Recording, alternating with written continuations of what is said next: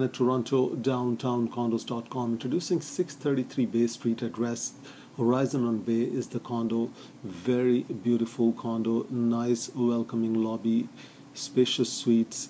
Expand your horizon with the grand sizes, huge living areas, masters with en suites second bedrooms that can be dense and dense that can be second bedrooms so it's a beautiful beautiful atmosphere to be in every condo listed here can be leased or sold within a few hours. You can see the practical den can be used as an office or a studio space. They are loaded with amenities. They have a theater room indoor pool gym rooftop deck and garden